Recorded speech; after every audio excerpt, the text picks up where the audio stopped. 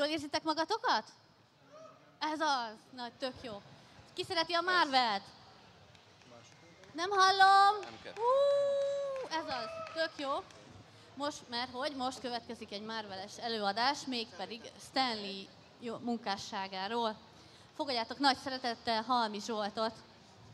Na, sziasztok! Köszöntök mindenkit. Én Halmi Zsolt vagyok, képregényrajzoló. A ö, Stanley munkásságáról fogok nektek egy röpke fél órát beszélni. Remélem nem leszek túl unalmas. Ha valakinek lesz közbe kérdése, nyugodtan tegye fel, és a végén is lehet majd nyugodtan kérdezni. Tehát ugye Stanley-t szerintem senkinek nem kell bemutatnom, mindenki tudja, hogy milyen képregény karaktereket alkotott, milyen képregényekben vett részt, viszont ahhoz, hogy be tudjuk határolni Stanley munkásságát és mindazt, amit ő létrehozott, ahhoz ismernünk kell azt a korszakot, amiben ő alkotott. Ugye az amerikai képregényeket több korszakra uh, tudjuk osztani. Tehát ugye itt látható Stanley, született 1922-ben és 2018-ban halt meg ugye az amerikai képregény, tehát ahhoz, hogy egyáltalán tudjuk, hogy ő miket csinált, és abban a korban az miért volt releváns, tudnunk kell azt is, hogy hogyan alakul ki egyáltalán maga a képregény. Ugye a comics, mint a komikus csíkok, ugye innen lesz elnevezve majd maga az amerikai képregény.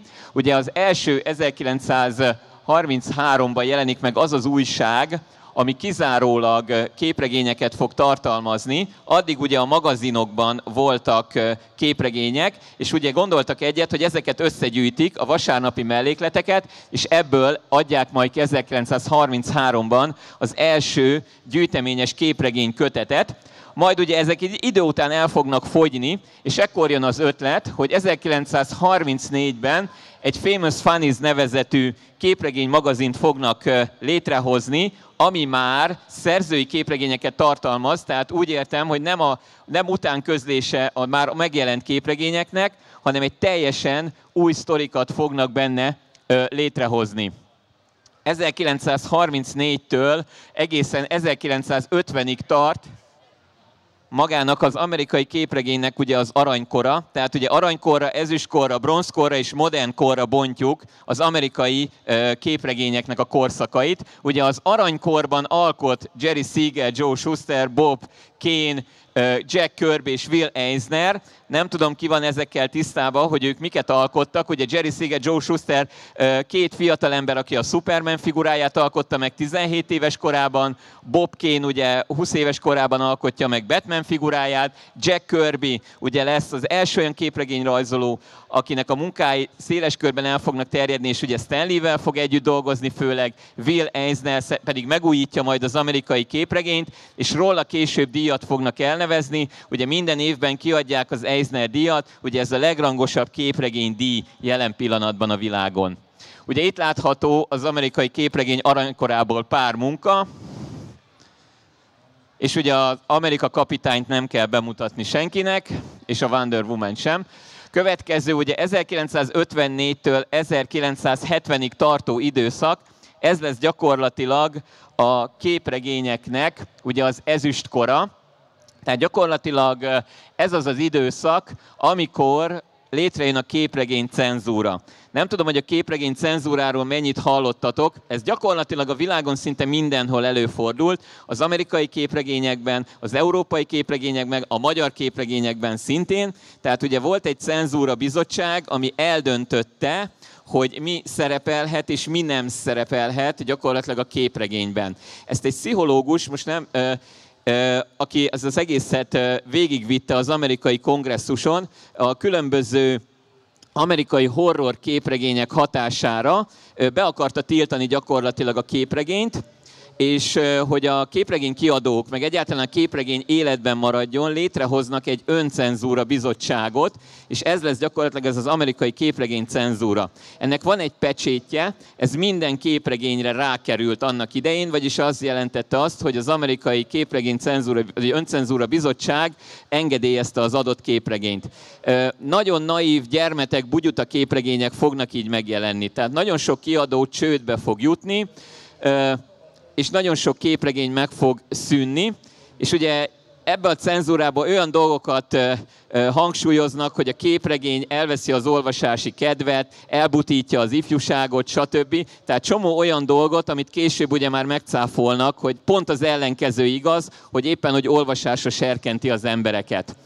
Ugye, hogy megúszszák a képregényeknek a úgymond halálát, elkezdik az aranykori hősöket feléleszteni. Ugye ekkor még a DC képregényekről beszélünk, ugye eredet történetek, ugye Flashnek, zöldlámpásnak, zöldiásznak egy teljesen új eredet történetet fognak létrehozni az amerikai ezüstkorban, képregény ezüstkorában, és ebbe a korszakba tehető bele Stanleynek a munkássága, illetve munkásságának kezdete, ugye a 60-as évektől, és majd hogy látjuk azt, hogy ugye van egy képregény cenzúra, vannak szuperhősök újraélesztése, és ebben a korszakban jelenik meg Stanley formabontó képregényeivel, és ugye erről majd nem, mindjárt beszélni is fogok, hogy miben lesznek ezek a ö, képregények teljesen újak, és egyáltalán mi az, ami miatt kitűnik majd ebből a közegből, vagyis a képregény, az amerikai képregénynek ugye az ezüst korából és ekkora tehető ugye a Marvel, Marvel felemelkedéseit, ami ugye eredetileg nem Marvel Comicsként debütált, hanem a Timely képregényekként kezdi el ezt az egészet, és egy nagyon kicsi kiadóként indul, tehát szó szerint pár emberrel, ami a képregény cenzúra hatására még kevesebbre fog lecsökkenni, és gyakorlatilag, majd később mondani is fogom, hogy ez Stanley és pár rajzolóra fog az egész redukálódni, és ebből fog majd kiindulni gyakorlatilag egy olyan ö, képregény nagyhatalom, ami majd, amit most úgy ismerünk, hogy a Marvel Comics. Ugye itt látható az ezüstkorból néhány képregény, ugye látjuk ugye a Fantasztikus négyest, gondolom mindenki ismeri magát a, történetet, ugye a bosszúállókat, és a, ugye a pókembert. Ugye ezeknek mindnek megvan a maga kis története, hogy hogyan alakulnak ki, és mi motiválja Stanley-t, hogy ezek ugye, mint képregény hősök és figurák ugye megjelenjenek. Ugye, hogy a DC-t is behozzam, beszéltem ugye az uh, aranykori szuperhősöknek az újjáélesztéséről. Ugye egyik ilyen ugye a zöld lámpás, akit ugye újraélesztenek, vagy mint a képregényt újraírják, az eredet történetét is, és ekkor jelenik meg Hal Jordannek a története, és a Abin Sur féle gyűrű, amit ugye majd meg fog kapni, eredetileg egy ilyen Aladdin lámpása szerű képregényként kezdte a zöld lámpás, a zöld íjászt is ugye ugyanúgy felélesztik, szintén egy másik eredet történetet kap, ugye ő lesz Oliver Queen, a milliárdos, és hát ugye közben a Marvel sem tétlenkedik, náluk pedig ugye közben megjelenik az X-Men csapat, aminek szintén van egyfajta mondani valója. És ugye ez gyakorlatilag az ezüstkor, ugye az új képregények, új fajta képregények megjelenése, és gyakorlatilag az ezüstkor azzal fog záródni, hogy elkezdődik fel, elkezdik felbontani ezt az öncenzúrát és ezt az öncenzúra bizottságot, hála a különböző underground képregényeknek, amik ugye megjelennek Amerikába. Ugye 60-as, 70-es évekről beszélünk, zajlik a vietnámi háború, ugye Amerika háborúja Vietnámban, Tudjuk jól, hogy ekkor emelkednek fel ugye a hippi kultusz, és maga az egész hippi közösség, és ezek a háború ellenes különböző csoportok kitermelik a saját maguk művészvilágát, és gyakorlatilag olyan képregényeket fognak alkotni, ami szembe megy a hivatalos cenzúra bizottsággal, tehát hivatalosan nem jelenhetnek meg, ezért nevezzük őket underground képregénynek,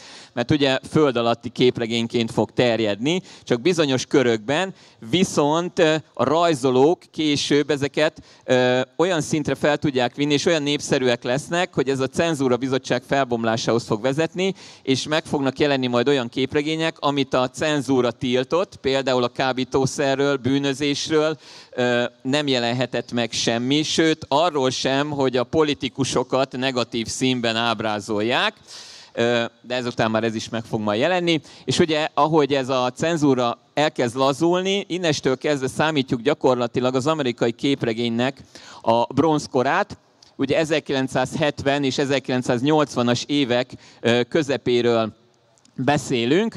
Ugye, előtt, ugye horror történetek, ami ugye kiváltotta a cenzúrát, ezek újra felélednek, újra meg fognak jelenni. Ugye a Mesék a kriptából szerintem az mindenkinek ismerős, volt belőle egy sorozat is, az is egy nagyon jó kis képregény, és 1970 Jack Kirby ugye együtt dolgozik Stan Lee-vel, ekkor összekülönböznek, és átmegy a DC-hez, ahol az új istenek, Darkseid és ezeket a figurákat fogja majd megalkotni. 1971 megjelenik a Cenzúra Bizottság jóváhagyása nélkül egy Stanley által készített képregény, mégpedig ez egy olyan pókember sztori, ami a kábítószerre hívja fel a figyelmet. Tehát nem egy tammese, hanem hétköznapi emberek hogyan kapcsolódnak a, olyan dolgokhoz, ami kábít, tehát a, nem csak a feketékre, mert ugye főleg azt mondták abban az időben, hogy rájuk jellemző a kábítószer fogyasztás. Itt Stanley-nél megjelenik az, hogy például Osborne-nak a fia Harry hogyan lesz kábítószer függő, tehát egy olyan történetet fog megjelentetni, amit a bizottság nem engedélyez, és a bizottságnak a határozata ellenében ki fogja nyomtatni, és nagy sikert fog aratni. Egyébként ez magyarul is megjelent, tehát be lehet szerezni. És innestől, mint mondtam, elkezd fellazulni ez a cenzúra bizottság, és vissza fog jönni azok a képregények, amit a cenzúra előtt voltak, újra jelennek meg például horror történetek, és természetesen ugye a 70-es éveknek a, és a 80-as évek elejének a kung fu kultusza szintén meg fog jelenni, és talán mondanom se kell, hogy kik lesznek ezek a hősök, akiknél ugye ez megjelenik. Ugye például Shang-Chi-nak a karaktere is ekkor fog megjelenni, ugyanekkor jelenik meg a hordlovak karaktere is, tehát ezek mindegyik 70-es évek és 80-as évek eleje. Ugye szellemlovas, hordlovag, mocsárlény, tehát ezeknek az új karaktereknek a felemelkedése, amiknek a megteremtésében Stanley már nem fog részt venni, tehát tevőlegesen nem vesz részt, tehát a legtöbb karaktert már nem ő alkotja meg, viszont ír hozzájuk történetet, és általában ilyenkor már Stanley nem íróként, hanem szerkesztőként van jelen a Marvelnél. Ugye itt látható néhány bronzkori képregény, borítója, a Ghost Rider, ugye az Iron Fist, a Holdlovag,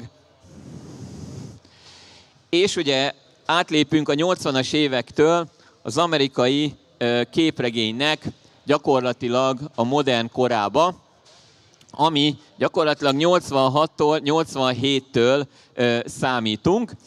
Ekkor fog megjelenni 1986-ban a Végtelen Világok krízise a DC-től, ami gyakorlatilag a teljes DC univerzumot úgy, ahogy van felrúgja, és újraalkotja. És újraalkot hősöket, eredet történetüket, valamint eltüntet történetekből különböző karaktereket.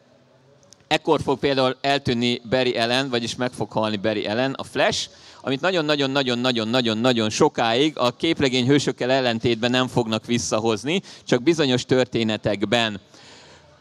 Ö, megjelennek ugye az újfajta képregények, ugye a Marvelnél ugyanilyen tisztogatás lesz a szuperhősök titkos háborúja, ugye, amit a túlon túli szervez egy idegen bolygón, az szintén egy ilyen univerzum építés és univerzum megváltoztatás, tehát ez lesz majd a célja gyakorlatilag ezeknek a Marvel képregényeknek.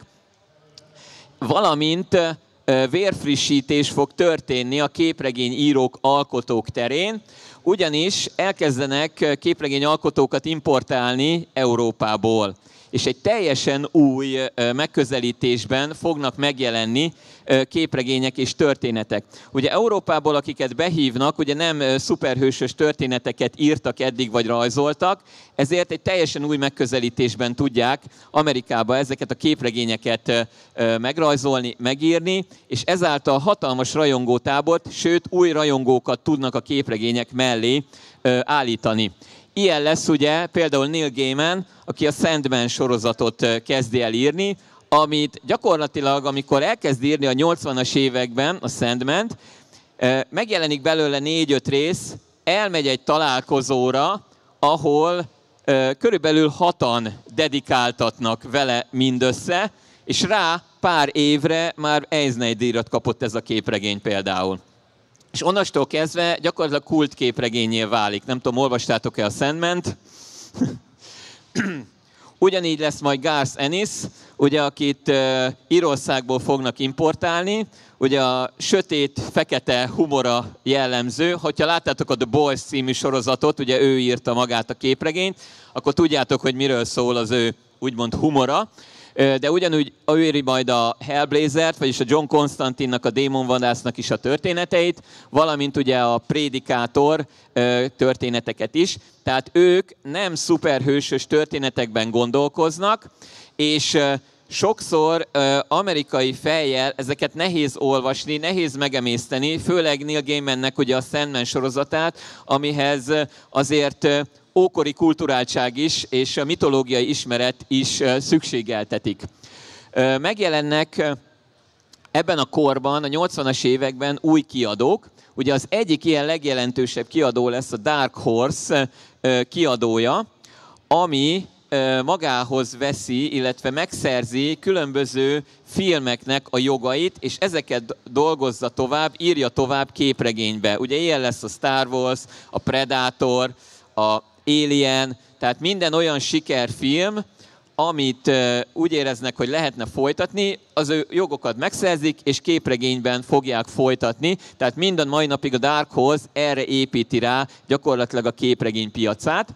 A Vertigo képregények ez lesz a DC kiadónak a felnőtteknek szóló képregényei. Tehát azok a képregények, amik nem feltétlenül szuperhősösek, nem feltétlenül gyerekeknek szólnak, azokat a Vertigo kiadó fogja majd kiadni. Ugye ilyen lesz például a Prédikátor, meg a Konstantin című képregény is, amit ugye a DC-n belül a Vertigo fog majd megjelentetni. Megjelenik az Image képregény, ez ö, kiadó, hogyha a Spawn képregényt ismeritek, és Todd McFarlane neve mond nektek valamit, akkor tudjátok, hogy miről beszélek, mert ugye ő fogja megalapítani ezt a kiadót, és nagyon egyszerű megfontolásból. Tehát amióta szuperhősös képregények léteznek, a kitalált karakterek mindig az adott cég tulajdonát képezik. Tehát, hogyha ők azt mondják, hogy új írót kérünk, új rajzolót keresünk, akkor ez úgy lesz, ahogy a cég mondja. Ez úgy volt a DC-nél, Marvelnél is régen, viszont az alkotók szerették volna saját maga által kitalált karaktereket saját tulajdonoknak mondani, és ennek hatására jön létre gyakorlatilag az Image kiadó Todd McFarlane által, aki maga köré gyűjti azokat az alkotókat, akik a nagy kiadókkal valamilyen ellentétben vannak, vagy valamiben összekülönböztek, pont ezért, mert hogy az általuk kitalált karaktert le akarták nyúlni. Az Image Comicsnál minden karakter, amit kitalálnak, az adott szerző vagy szerző páros tulajdona, és addig megy a sorozat, vagy azzal rajzoltatják, akikhez ők engedélyt adnak. Később ez a Vertigónál is meg fog majd jelenni, mert ugye a Prédikátor is a Sandman is, mindegyik lezárt történet, és hogyha a szerző azt mondta, hogy én itt lezártam, akkor onnastól kezdve nem lehet másnak tovább írni. Tehát ez a nézet később át fog majd menni más kiadókhoz is.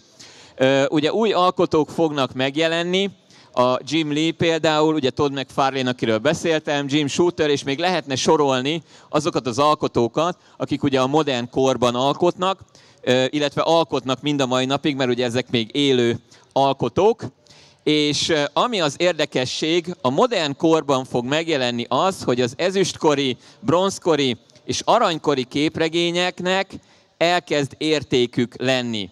Tehát onnastól kezdve azt mondják, hogy oké, okay, ha neked van egy 1939-es Superman képregényed, egy Action Comicsod, vagy van egy eredeti 1960-as évekből származó X-mened, akkor annak adjuk már meg azt az értéket, amit az képvisel. És ekkor jelennek meg ezek a cégek, amik ezeknek a felértékelésével, ugye tokolásával és értékmegőrzésével fognak foglalkozni. Ugye ez a CGC, CBCS, ezek ugye azok a cégek, amik ezzel foglalkoznak, és gyakorlatilag szerintem ez már itt Magyarországon is elég ismert, mert most már innen is nagyon sok ö, képregényt szoktak beküldeni ugye minőség megőrzésre.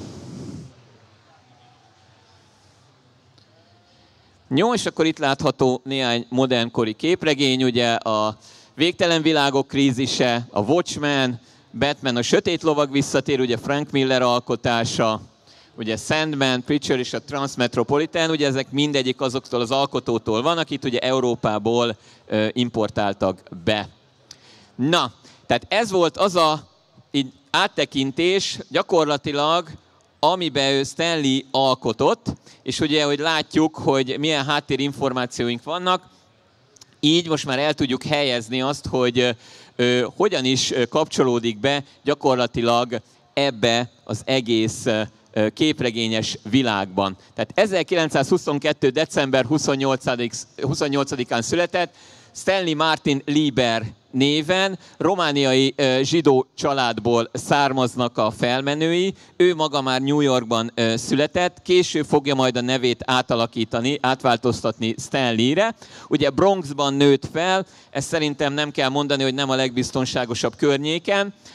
És ott egy középiskolában, David Clinton középiskolában tanult, és gyakorlatilag gyerekkora óta ír történeteket, kezdett be ugye a suli újságba, és gyászjelentéseket a helyi labba, és gyakorlatilag írt a Nemzeti Tuberkulózis Központnak is, tehát gyakorlatilag mindenhol kipróbálta magát, itt még diákként, tehát diákról beszélünk, tehát még nincs 18 éves, de ugye már megjelennek az első írásai, ami ugye még itt nem különböző történetek, hanem hogy a családját segítse, ő is megpróbál ugye pénzt keresni valahogy.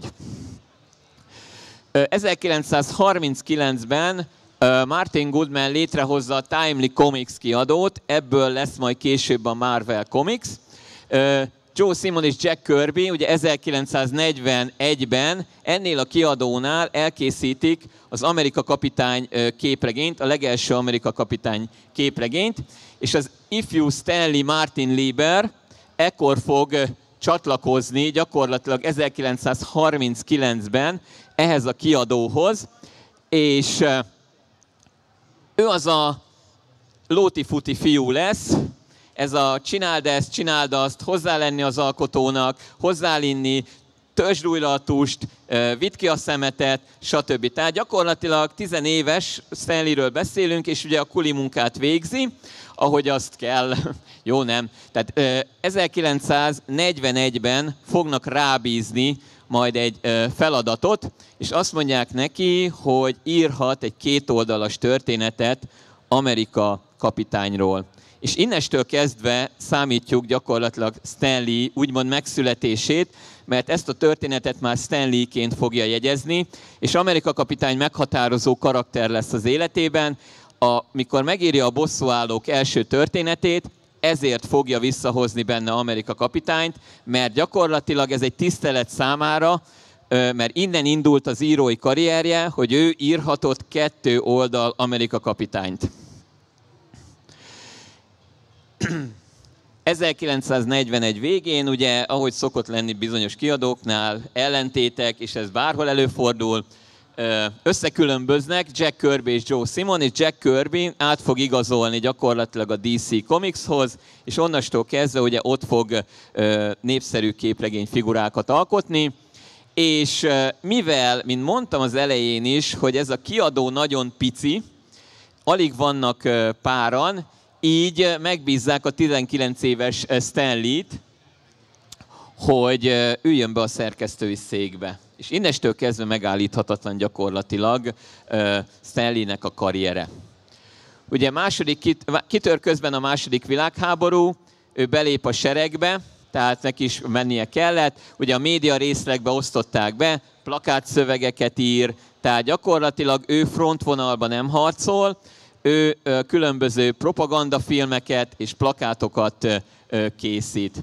Ugye a háború után a Timely kiadó Atlas néven fog tovább futni, és ugye ide megy tovább Stanley vissza, western, horror és sci-fi képregényeket kezd majd írni és az Atlas majd utána ismét nevet változtat, és innestől kezdve lesz gyakorlatilag a Marvel Comics, mint olyan, ami a mai napig is létezik.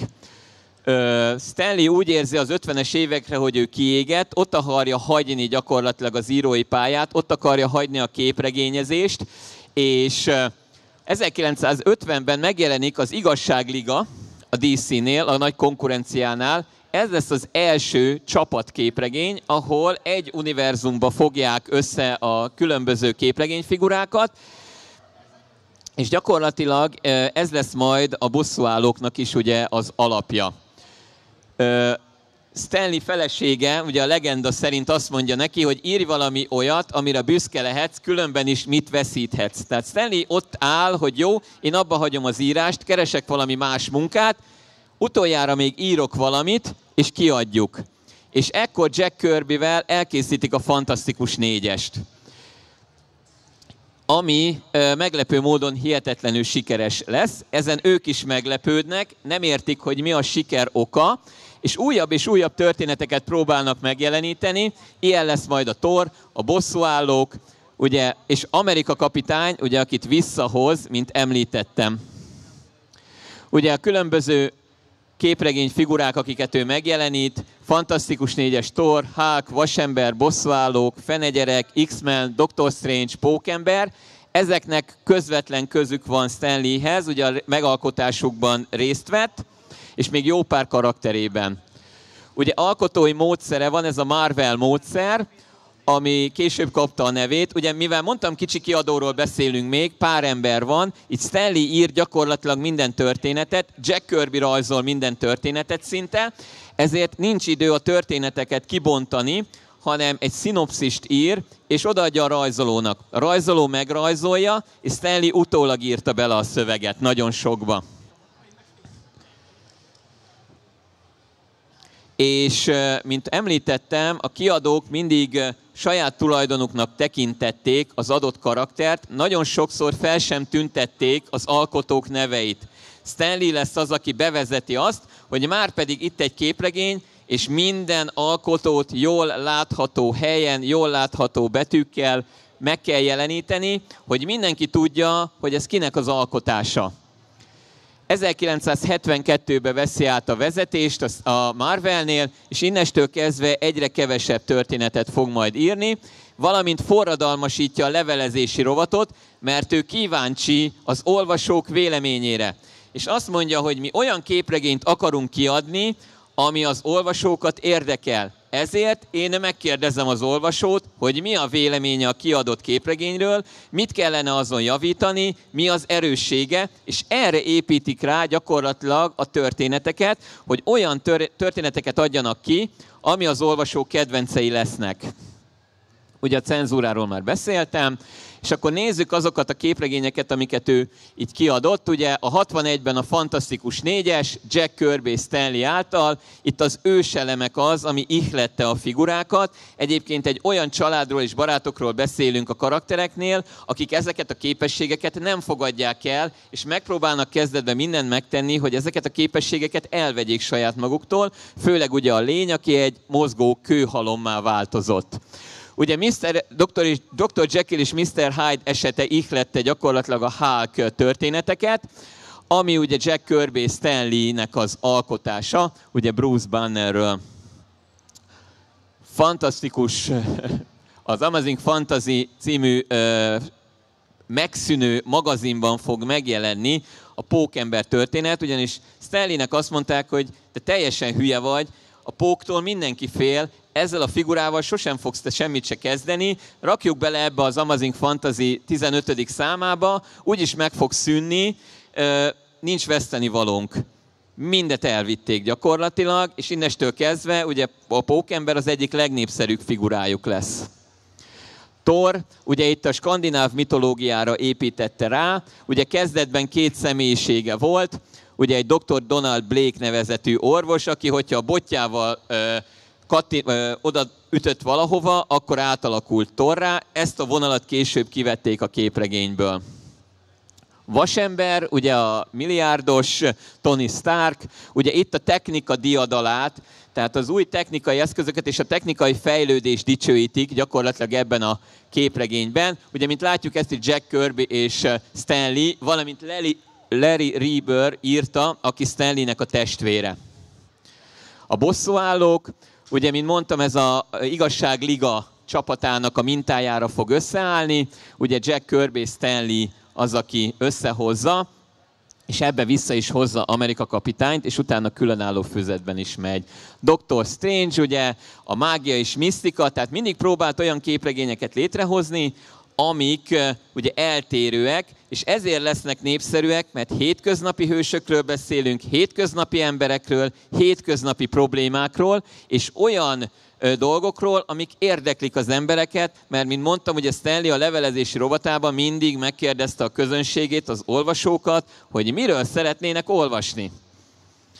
Fenegyerek, ugye ez kezdetben egy teljesen másfajta történet volt. Ugye később Frank Miller fogja átalakítani azzal a komor figurává, ami gyakorlatilag sokszor hozzák össze a DC Batmanével. Kezdetben ez egy ugyanolyan vicces karakternek szánták, mint Pókember volt. Ugye mivel ő egy ügyvéd, így gyakorlatilag ugye Justícia szobrát mindenki ismeri, be van kötve a szeme, ugye az igazság vak.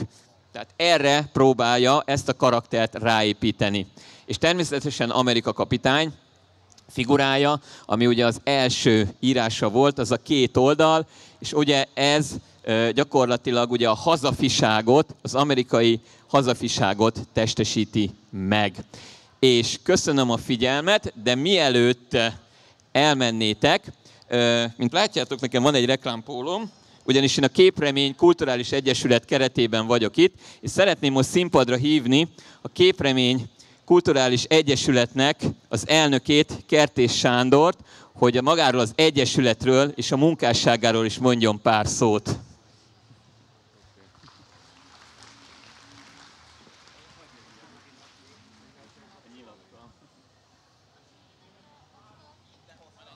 Nagyon sok szeretettel köszöntök mindenkit, és igazából ez a Képremény Kulturális Egyesületről való néhány gondolkodás az abból adódott nekünk Zsoltal, hogy mind a ketten tanáremberek vagyunk egy művészeti szakgimnáziumban, Debrecenben a Kóskároly Művészeti Szakgimnáziumban, és minden évben a felvételinél találkozunk a mappa nézegetésnél, ugye rajzosok jönnek hozzánk felvételizni, hogy a legtöbb rajzoló hoz képregényrajzokat, mangarajzokat, szuperhős rajzokat, és kiderül számunkra, hogy ez már az elmúlt években annyira természetes kifejezési formává vált a gyerekek számára, hogy, hogy ezzel foglalkozni kell, és ugyanakkor a szülők is nagyon sokszor megkeresnek bennünket azzal, hogy a gyerekének ez a mániája, hogy füzeteket rajzol tele szuperhős és manga karakterekkel, hogy most mit csináljon, törje el a kezét, vagy hagyja nyugodtan dolgozni, és Ugyanakkor pedig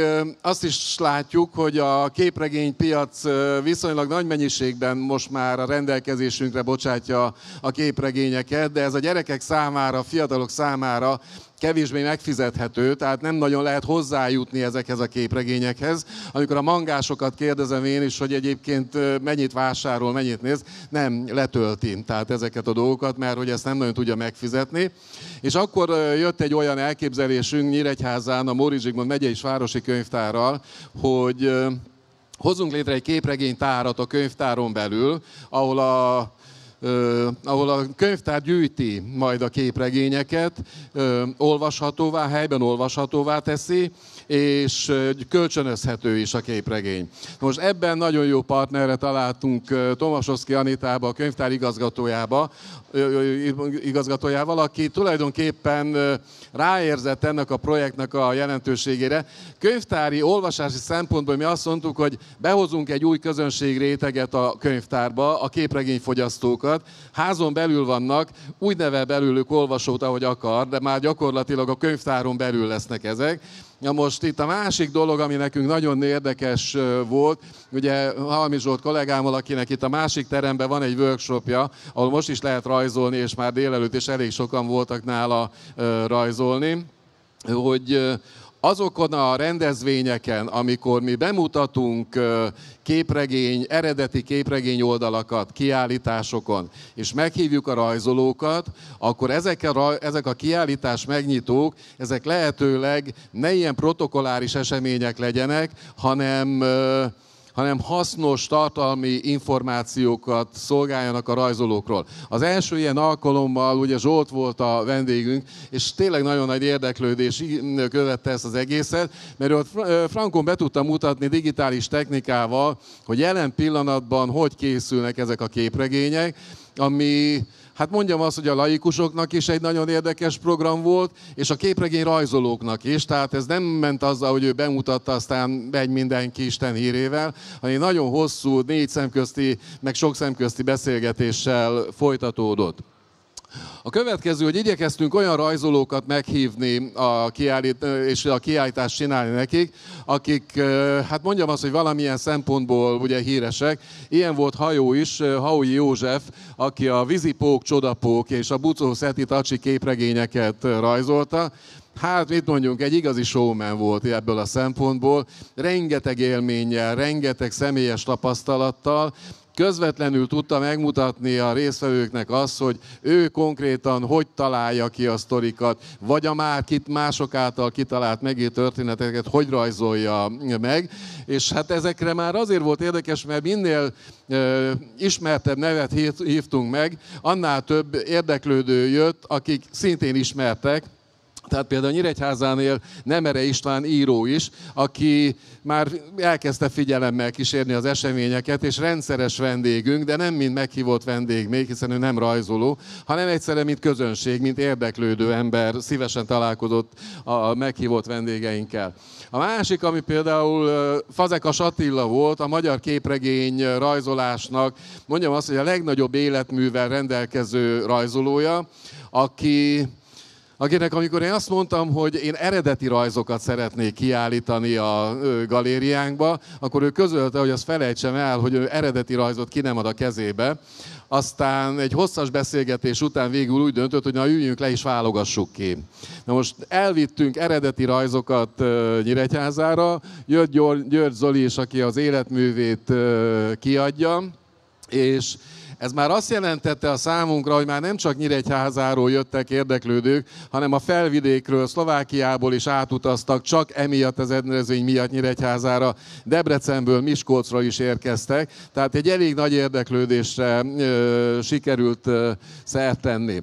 A másik pedig, hogy bevezettünk egy olyan programot ezt követően, tehát ezek folyamatosan egymásra épülő programok voltak, ami egy ilyen firka délután, tehát magyarul lehetővé tettük azt, hogy a közönség a meghívott vendéggel együtt rajzoljon. Tehát próbálja meg azt, hogy le tud-e rajzolni valamit, meg tud-e csinálni valamit, és ehhez ott van egy eredeti alkotó, ebben az esetben Farkas Lajos képregény rajzoló volt, akinek a rajzai lejelentős részben Franciaországban jelennek meg, tehát Magyarországon is jelentek meg munkái, most a Hősök tere című könyvben ö, látható tőle képregény, és ő eljött és hozott forgatókönyvet, azt a forgatókönyvet, ami alapján ő is készíti a képregényét, és leült a gyerekek közé, és közösen megpróbálták megrajzolni ezeket a sztorikat.